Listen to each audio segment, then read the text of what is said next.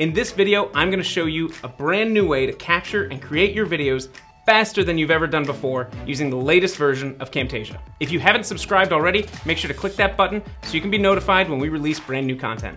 So like always, when you first get into Camtasia, you're gonna start on the home screen.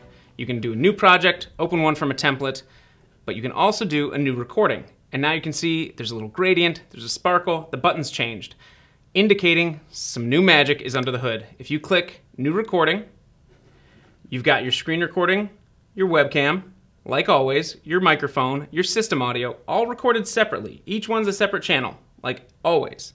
But now the Camtasia Rev toggle should be turned on. When you're done recording, you'll see why this makes such a difference. I'm gonna bring up something to screen record. In my case, I'll use the Camtasia website. Hit start recording, get myself ready to be on camera. We're just gonna do a quick demo walking through the website so that I can show you. Hit record, it gives me the three second countdown. I'm gonna talk to my webcam. In this video, I wanna take you through the Camtasia website and show you what's new in Camtasia 2023. Stop recording. And now what comes up is Camtasia Rev. Rather than dropping all the footage on the timeline like normal and letting me have full control of the edit, which I still have, it's gonna give me some display options. We can start with the size. Are you trying to do a widescreen video a vertical video, a square video.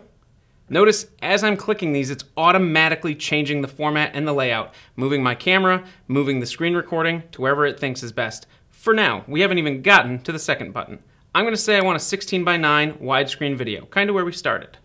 Now if I go over into layout, I'm on this first option here, but if I click through, it's gonna move me and go full screen with the screen recording, maybe a circle picture in picture off to the side, rectangular picture in picture, just by clicking, it's giving me all these different options. I haven't even gotten into the edit yet, and it's going to set everything up the way I like it. So for me, I'm gonna use this picture in picture, bottom right corner, and I'm gonna move on to the background. The background for me is this gradient. We've got kind of a rainbow colored gradient, which is one of the default ones. Maybe you want something darker. Maybe you want something lighter. Go through and find the background gradient that works for you.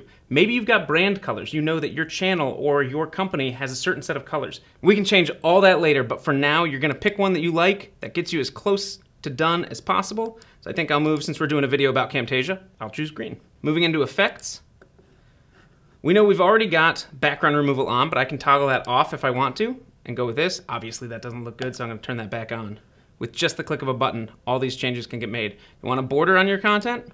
Put a border. It added a border to me and to the screen recording. Again, you can change it later if you get into the edit and decide you don't like that.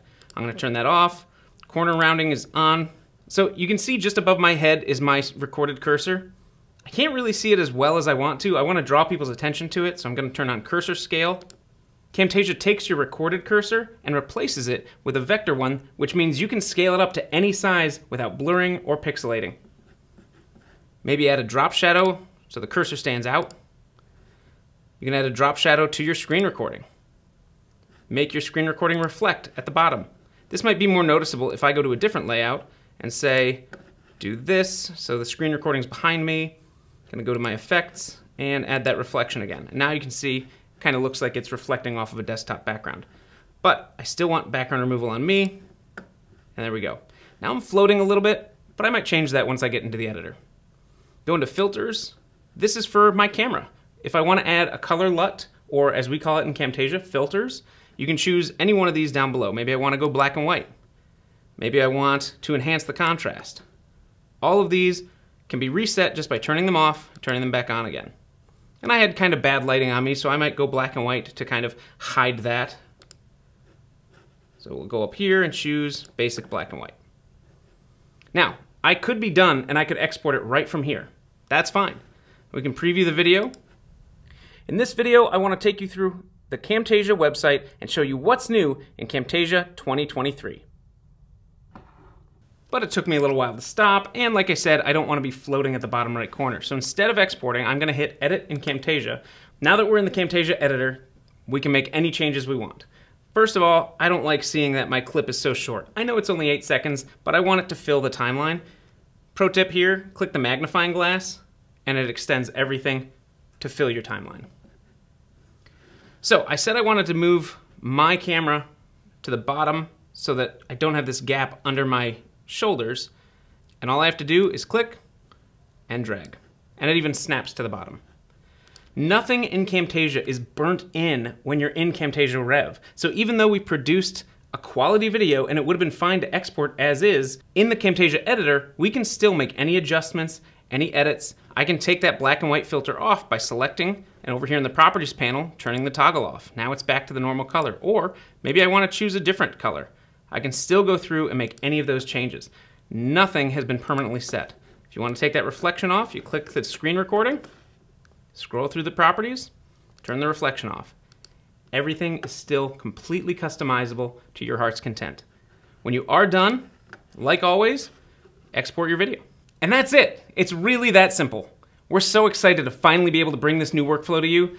Get in there, start playing, and have a ball. Camtasia Rev is so much fun and so easy to use.